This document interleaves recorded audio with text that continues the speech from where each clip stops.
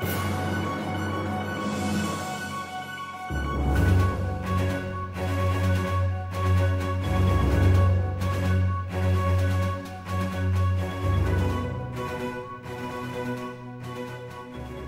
is BBC News. I am Bryce Wellington. And I'm Rio Toledo. Today we'll be celebrating the death of Robespierre. He died July 27, 1793. Let's go back a bit.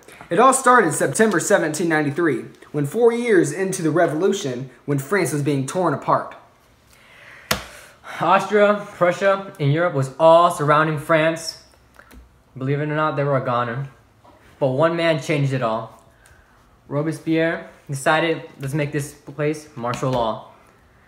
So, in their way to control the citizens, get it all act together, they decided to use more physical structures like the guillotine, which created a lot of deaths in the, during the French Revolution. For those of you who do not know what martial law is, martial law is when the citizens do not have any rights and the government and military control all the power. Going back to the guillotine, that caused a lot of deaths. Basically, it was a simple structure with a knife on top, chopped their head off, done. Most citizens died, but it's the simplest things. It was strict laws, you couldn't mess around, so if you did, there goes your life. The reign of terror was spreading fear throughout the hearts of thousands in France. It was turning neighbors upon neighbors against each other and family members on family members, all because they did not want to die. So, Bryce, why do you think Robespierre used fear to control over the citizens of France? Robespierre used fear to control his citizens because when fear is instilled into your hearts, you will not uh, you will not respond to anything. For example, by using the word madame instead of citizen, you would have been killed by a guillotine. For references, here's a reenactment we made.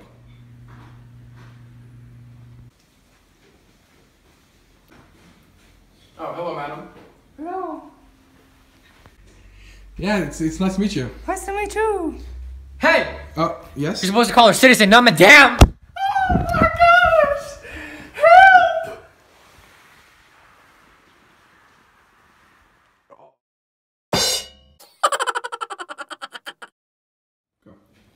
Yup, and that is exactly what would happen to you if you call someone by the wrong name.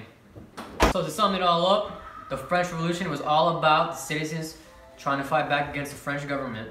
It was all corrupted, and then until one man named Robespierre stood up and used his weapon, which is called fear. Thank you for watching.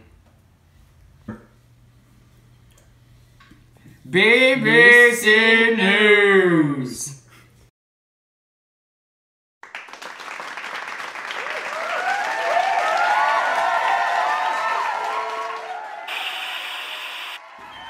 One.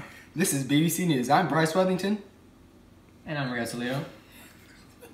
It's 202 years ago. 222 to be exact. This is BBC News. I am Bryce Wellington. And I am Rio Toledo. and you guys are This is One, no, one. this is BBC News. I am.